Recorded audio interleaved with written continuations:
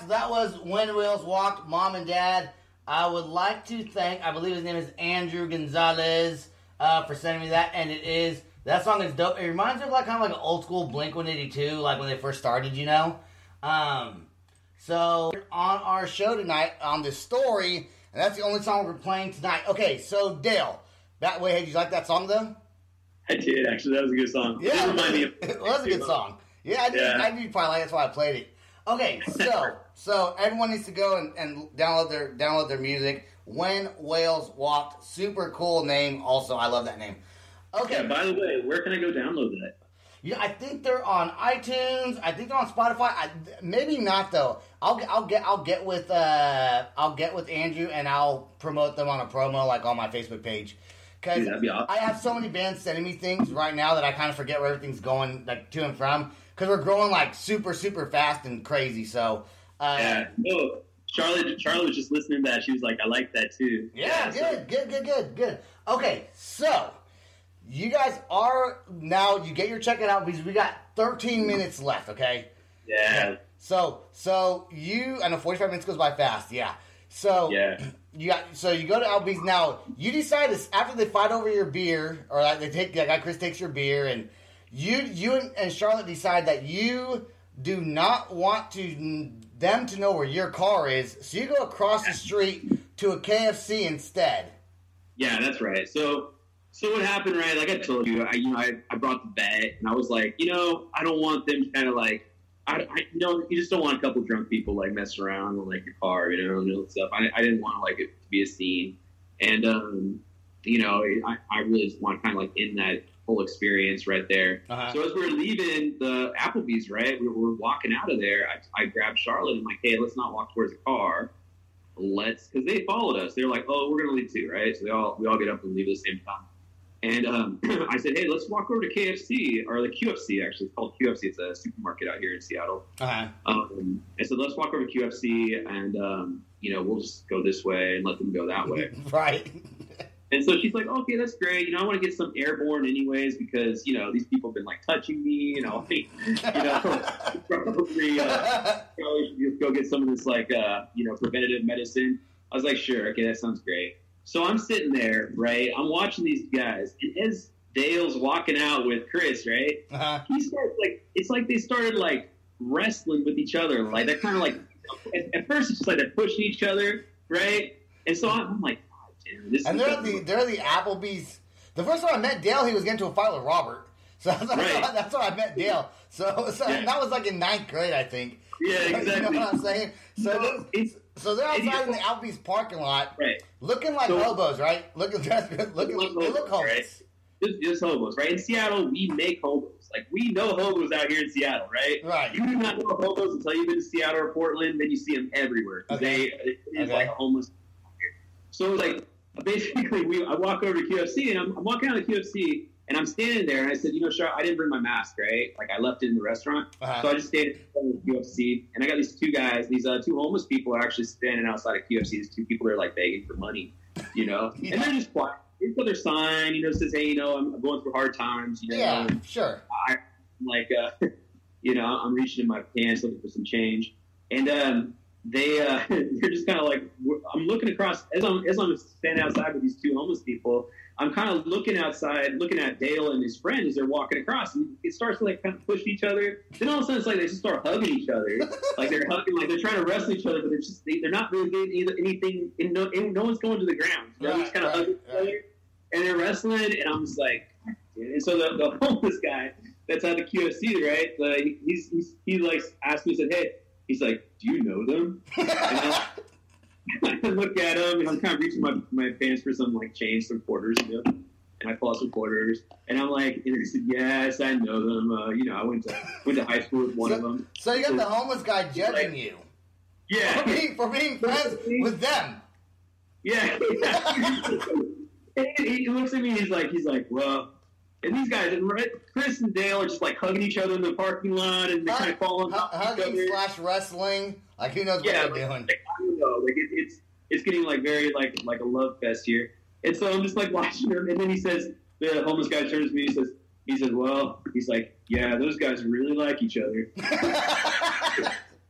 I gave him some change, and I'm like, yeah. It's like, yeah, they, they So, definitely so the homeless do. guy looks at you and says, "So those guys really like each other?" Like, we like each other, yeah. oh my god. Okay, so how, so did they wind up eventually leaving, like the Dude. parking lot? Because I can I know Dale. He'll sit there and wrestle in the parking lot for like an hour. Dude, he, he, that's what he was doing. He was they wrestled for like maybe 15 minutes, and I walked around. I grabbed the bed, and I pulled the bed out, and I, I, I went and picked Charlotte up. And And then we were driving outside the parking lot, like driving away, they're just wrestling in the parking lot, like in the middle of the parking lot. They're just wrestling on top of each other, like Oh wrestling, God. fighting each other. And I'm like, dude, I have no idea what's going on on there. So I just took off, and I was just sitting there. Have you talked to Uh, Dale since? I did. I texted him like yes. I texted him like the next day, and I said, "Hey man," I said, "How's everything going?" He's like, "I said, I said, what are you up to?" And he's like, "I'm just working." Just working. Like where, where are you getting the Wi-Fi? He's like, yeah, oh, I got a hotspot on my phone. oh, so he's on his way to Michigan with a bunch of bullet holes in his car, and he has Wi-Fi. A bullet in his butt. I'm like, dude, at least take care of the bullet in your butt. You know, Like, you think he feels it when he's taking a shit? Like, he feels the bullet hanging there? I like it. Stuck inside? That's so weird. Because, like, I don't think there's any dangerous spot in your ass to, like, get a bullet stuck. Like, there's no, like, is there, like, any, I mean, you're the, you're the scientist, you should know. Is there any, like, Oh, yeah. veins or anything like that, like, in your buttocks area that would, uh, make it Yeah. impossible to pull out? There is? Well, you got you get a lot of fat and muscle in your glute, so um, you know it. No, if you went to a doctor, the doctor would pull it out. I don't know if you went to a doctor. See, that's the thing. There's a lot of question marks, right? The mystery of Dale. It's like I'm not really sure. But um, but the thing is, is the sad thing about Dale, right? Is it's just it's like when I go hang out with him, Uh-huh. right? We, we have to go have a drink, and when he has a drink, He that's when he gets like, yeah, he, get, he gets like, over the top. one time he was at my house hanging out in Oklahoma City, and like it was like two thirty, three in the morning. We had to quit drinking already for like an hour because I was already drunk. You know, I was like, I had time to go to sleep. You know, and I had my Yeah. kids there and stuff. He comes knocking on the door like at thirty in the morning, asking if there's any more beer in the house. I was like, No, we drank all the beer. Go to Yeah. sleep, dude. Like, Yeah. what are you doing? What are you the just woke me up. I got my daughter sleeping in the room. I got my wife in the room. I, you know, my Yeah. ex-wife. I'm like, what? What are you doing, dude? Like, stop. Yeah. He just there's like no filter for. eh, But but look, Dale, if you hear this, we love you as a friend. We do. We know We you. love you as a friend, man. You are our brother, but we like to just, you know, we like to roast when we can. So, and this is too good of a story to pass up. I know. You know what I'm saying? So I know what you. Man, I know what you mean. And the last couple times, like the last time I had him out here, I had him stay at my place. And the thing is, is like it. It's just he, he has to get up. He, you know, if he's staying at your place, you ever have a friend that says, "Hey, man, if I'm staying at your place, can I like, can I get up and go outside like every like you know two hours to have a cigarette?" It's like no. No. Once I, once you're over, I lock the doors. Y- You know, Yeah, I, dude, that's a you know what? That's a pet peeve of mine, dude. Like if someone's staying out of my house, once I lock the doors, I don't need you going in and out of my house. right. Like keep the stay inside, go to sleep because I I hate I literally absolutely hate when people come over and stay the night and then they are in and out all night. Like I'll kick them out. Yeah. I'll lock them the fuck out of my house, dude. Bye. Well, last time, last time Dale came over, man, he went to go have a cigarette, and he, my, I live in an apartment complex, right? So it's like when you go out, you have to have a yard key to get back in. So he went out to go have a cigarette, and it was like the winter time, right? So it's freezing cold, right? In Seattle at the time, like it was probably like February, Mar- March, or something like that, but it was really cold. And so this guy, he goes outside at like four in the morning to go have a cigarette, and then Oh, he's like, he's like he can't get back in. So he keeps calling me, calling me, calling me, calling me. And I saw the messages, but I was so tired. I. Dude, was like- you saw him. You're If the phone dead. off, if it's like not my time to wake up, I'm like I'm I'm ignoring, right? Unless it's emergency. And he was Oh. texting me, texting me, and all that stuff. And that guy like almost froze to death outside. Oh, we had a little God. you know, apartment complex. We had like a clubhouse, right? Uh-huh. he was like curled up in one of the clubhouse like little benches, and he had like his shirt like wrapped up and all that stuff. Oh. Seven in the morning, and I was like, "Oh shit, Dale's locked outside." Like, What "Yeah, I came out. what was he I've doing outside for like three hours, man." What's, What? he, what, what's he doing at? What's he doing? Waking up at four in the morning to go smoke a cigarette. I, you know what? I don't know, man. That's the thing. It's that's that's Dale. Dale, he he likes to smoke and he likes to drink, And it's like you, but but if he doesn't, if you if you're hanging out with him and he doesn't, he's not he's sober, he's not smoking. Dude, yeah, Fool's there's like two different Dales almost, right? Yeah, it's, Well- just, it's like We we love we love Dale, and uh, he's turning out a little bit like his dad, I think, and he hated his dad. like he's not, not I think so. Yeah. not like he's kind of, but his dad didn't really smoke. I, he doesn't. I don't remember him smoking anyways or drinking. But Joe, dude, it's been super fun having you on the show. Eh, Joe, I've known Joe for a very, very, very long time. We were roommates um, when he was going to college at UC Davis. We had all kinds of stories about that we could say, but we're not going to right now. but, we, but we had some We fun got time. Joe, Joe and I do uh, do some business stuff together as well, so we're in communications all the time. Uh, he's a great storyteller. That's why I wanted him to do this podcast tonight. Uh, and you got anything else, Joe? Uh, that band when Whales walked is pretty cool. I really want to play a couple more, but that story's so interesting. And we only got forty five minutes. You know what I'm saying? Hey, what do you think about the podcast?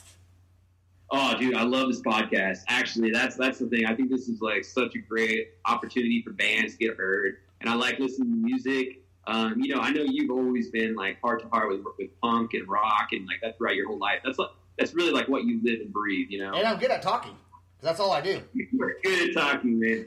but I love I love listening to some of these bands. You know, it's like you, you don't get the, the the bandwidth for some of these bands, and You they don't. they don't a chance to get heard. no, I mean, like that we heard tonight. You know, um, that was that was great. I really enjoyed Yeah. that. dude, that's what I think about the podcast too. And I do think it's interesting. Some of the people you bring on, you know, some of the characters, kind Yeah. of interesting. You know, and we have So- so we range from like death metal to I wouldn't even say I've said that band was pop punk at first. I don't really say the pop. I kind of just say like they're they're like like a Blink One Eighty Two punk, which when Blink One Eighty Two started, they were not pop punk like they turned out to be later on. Yeah. They have like that punk edge still, but like we play thrash. So we have like we're booked up, dude. Like this whole month, we got all kinds of interviews. So I'm super excited about that. I'm really excited for like every single one of these episodes, and the music ranges from Eric Bonilla is going to be on here because he has his band nothing, Oh, really? nothing short of tragic, dude. Oh, I saw Eric on Facebook. I, he actually is friends with a friend of mine from Genentech. I didn't know. He's moving. Like, to, uh, he's moving to Colorado. Oh, is he? Yep, I- and I think he's going to be here because we're only about seven hours away. I think seven nine hours away. I think he's going to be here on October 25th to do his Yeah. band's show because he's like a Uh, one man band. He still keeps his name, but it's all just him now. You know, he did, writes all the music for it, and and uh, so that'd be very interesting. Um, He's he'd be an interesting, interesting guy to interview too. I mean, he, he that He's guy's funny. a character. He's fun. He has his, he, he has his own YouTube channel called On the Couch with Eric Brown. It's, pretty funny. I see it too. He's got a he's got a talent for that. That he's one of the funniest guys. The it's Yeah. like he doesn't need to be funny. He actually does need to be funny. He's got that com- comedic like talent. He Where sent, that guy. he, he sent me an email saying, uh, oh, what does email say? Do I have time to say it? I think I do. Let me, um, you I'm going to pause the podcast real quick so I can say what he said to me. Hold on. Okay. I'll pause this podcast, but we're not live, so it doesn't matter. Yeah. Okay, he says, I meant to send a picture of my penis, but the file was too small. But since we're dicking around anyway, here's a better version of the last song he paid for. And then he sent me, he said, I had a threesome the other night, except two people didn't show up. and, then he said, and then he sent me another song, and then he put the for labeling that, sending me his one of his songs. He put called Big Red. He put one last tickle, one last playful tickle of the balls. So I had a threesome, except two people didn't show up. I mean, that's classic, bro. That's classic. That's classic. is, he, he's an entertaining guy. Like I always like, I would always like enjoy hanging out with Eric I- just because I can't wait. To. I can't wait to get him on the show. And he actually wrote this outro song for me. That was the intro. Now it's an outro. But here's this. Yeah. We gotta go, guys. Thanks for listening to the Loud Spot with Sebastian, Joe Angus. Awesome to have you tonight. I'm playing the song. Let's go. Hey, thanks for having me.